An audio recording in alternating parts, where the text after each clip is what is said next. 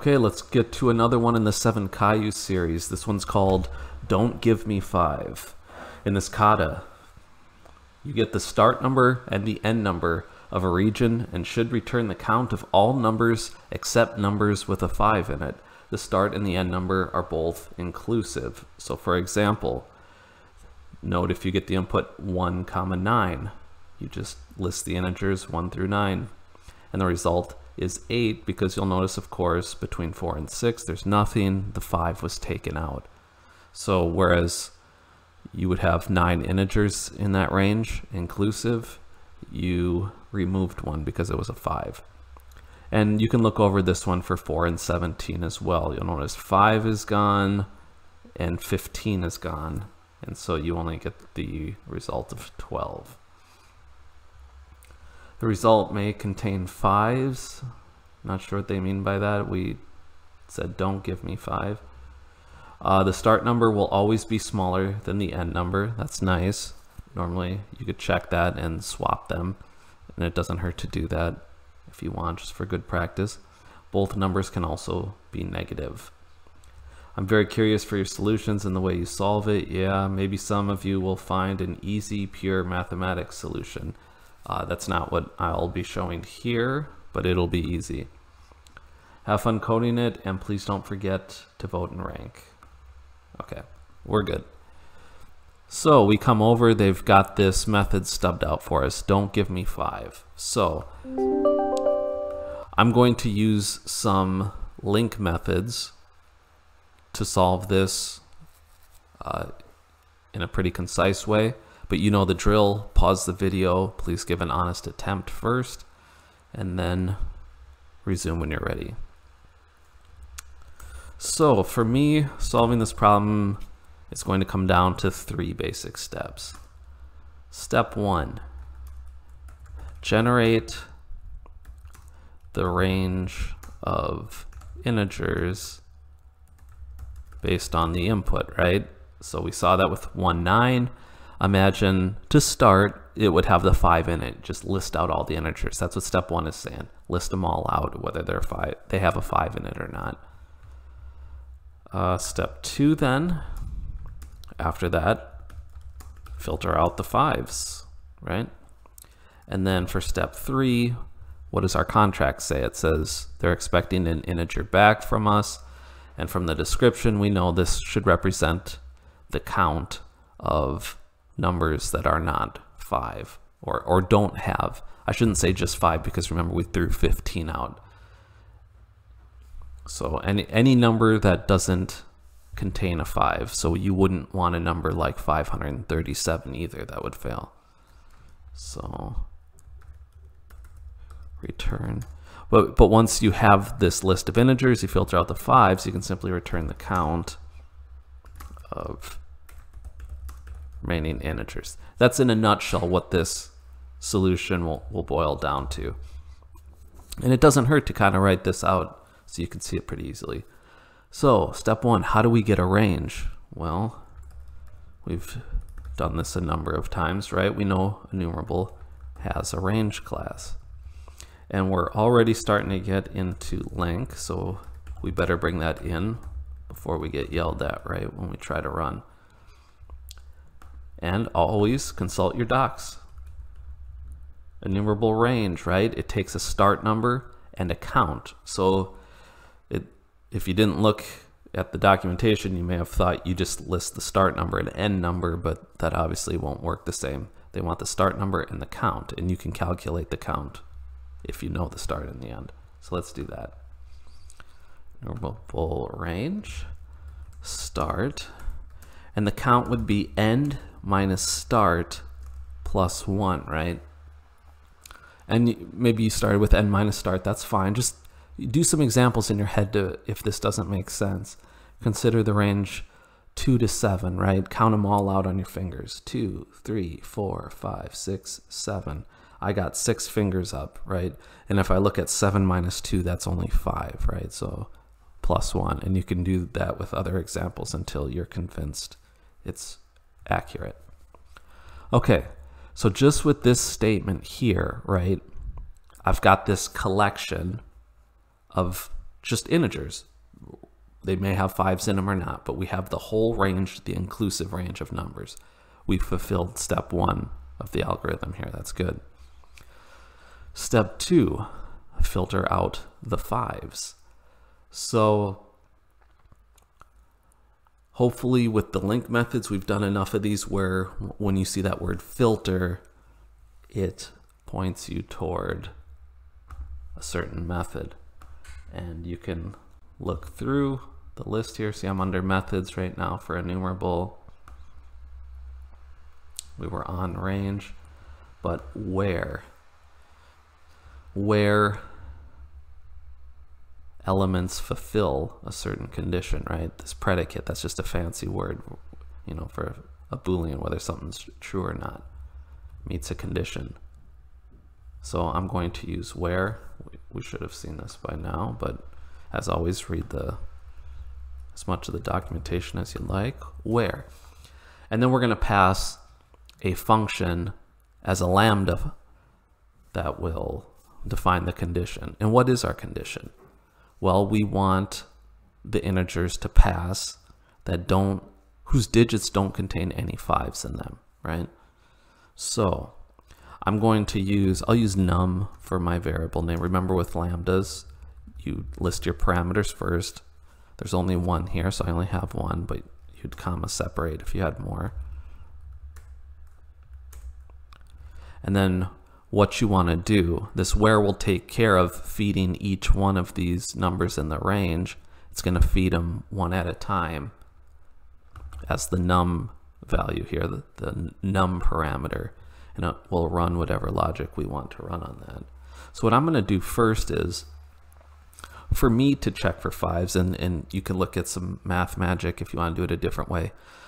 I'm just going to turn it into a string, and then I'm going to look over all the characters in the string to see if any of them are a five character.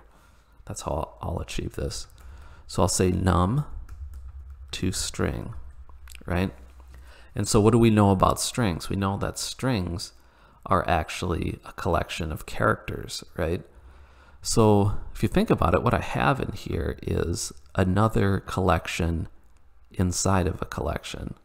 And so this might bend your mind a little bit. That's okay. It's good, good for you. But just try to bear with me and think about it.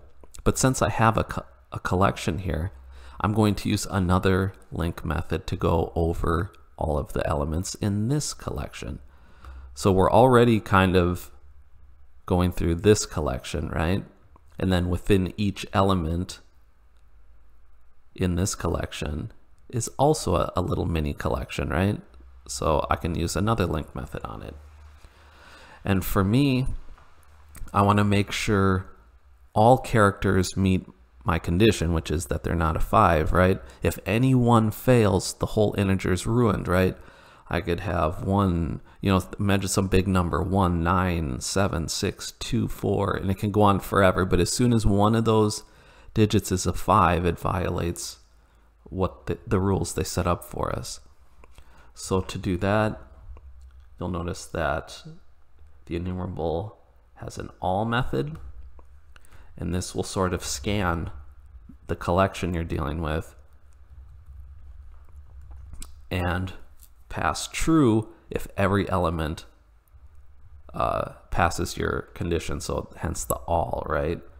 You got this any, which is very similar, but we'll just tell you if any element meets a condition. So if you wanted to think about it a different way, we could use any instead and check if any is a five and then sort of uh, ruin that element if it comes back with any. But I'm just going to use all here for the way that I have mine going. So all, I want to make sure all are not five, right? So now to use this all, we've got a collection of characters, which was the number converted into a string. So you can imagine a string like one, two, three, four. Remember, it's not an integer anymore. It's in double quotes. It's a string that's just text characters. And when I'm dealing with characters, a typical variable name I like to use is ch for char, short for char.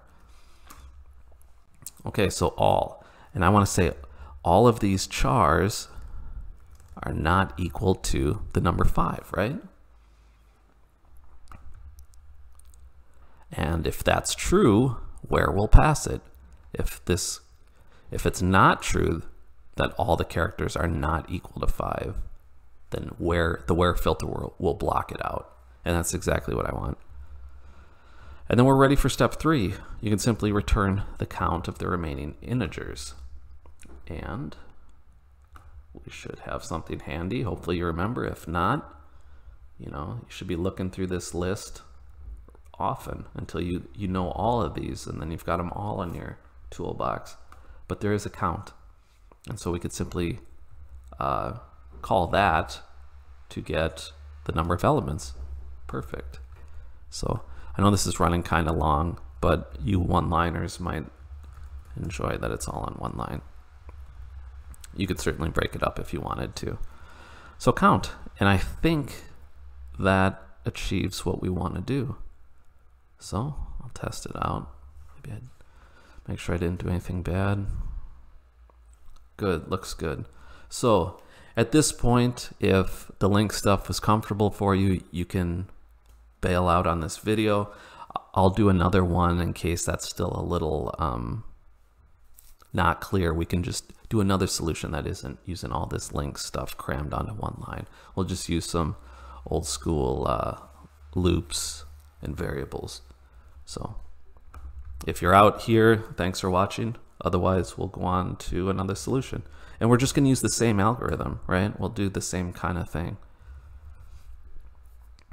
So, um, I guess it's not quite the same algorithm. It'll be a little different, but what do we need here, right? Since we're not doing this all in one line, you can just make a list of integers, and I'll call it non-fives. And don't forget to initialize your list so you can use it.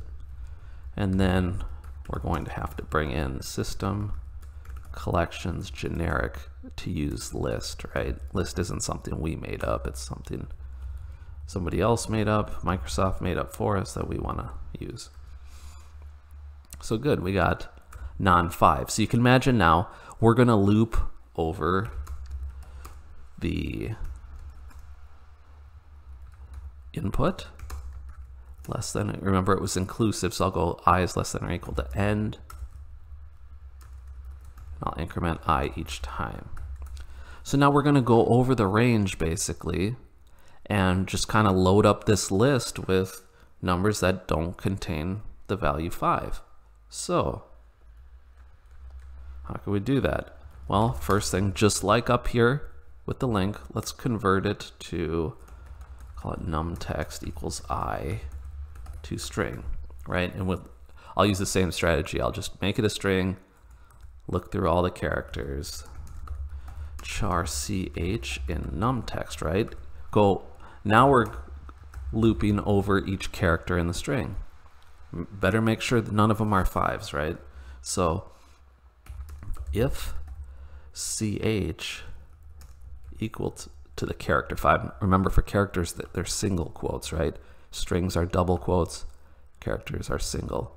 That means a character. If char equals 5, then Houston, we have a problem, right? We don't want that in our list. So what I'll do here is I'll make a little flag. I'll say boolean has 5, and we'll just assume it's false for the to start. And then as we encounter a character, we will set that. And that's what we do here, right? If it equals 5, we're going to set our flag has 5 equals true. And then we can break out of the loop, right? Even 1, 5 alone just invalidates the whole thing, right? So, you know, if a number starts with a 5, you don't need to read 20 more digits, right? That'd just be a waste. You'd read 20 more digits just to fail anyway. So I'm saying break, and break breaks out of the containing structure, break, so it'll apply to this for each and not the outer for loop. It gets you out of the for each loop. And then it's a matter of checking if our flag was set or not. If not has five, right, then we know it's safe to add to our list. Um, I think we call it non-fives, add i. And then once we've broken out of our for loop there, we'll be able to simply return the size of the list. Should have all the return non fives dot tickets count. We'll find out. So let me make sure I commented out my, yep, I did. Um, let's go through this. And then of course, if a five isn't found, it just keeps looping through each character. Has five was never set, so it'll be false, that's good. And then it gets added. If it did hit a five, this flag will be true and it will skip over non-fives add. So let's test this and see if we get anything here. Looks good, lots of green. I remember the test though only has a few tests. You want to run the attempt to make sure everything worked. And it looks good. I'm going to go back. I like the one line solution a lot better here. So you could submit whatever you like. Let's get rid of this. And I better run the full suite on my one-liner. I'll get rid of my comments. Okay. And let's hit attempt again. Make sure that one works too. Looks good. We're ready to submit. So yeah, go ahead and submit. Look through the answers. Probably someone used some math magic to do something where they didn't have to loop over a string like I did. And that's good.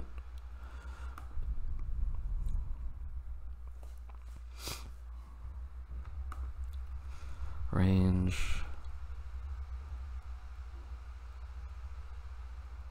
Okay, yeah, contains is nice there. Kind of similar to what we did. Uh, they got count uh, in, in the middle here. We had it at the end. Times two string count. So yeah, they kind of set up a counter, right? Little counter outside here and loop over and increment as necessary. That's that's cool. That works.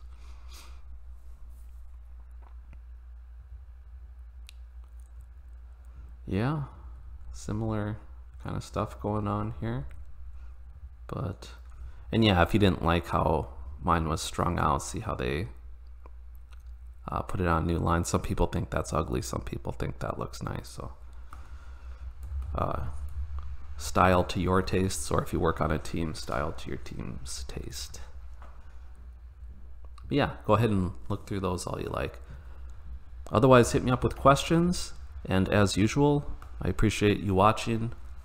Likes and subscribes are very appreciated as well. Thank you.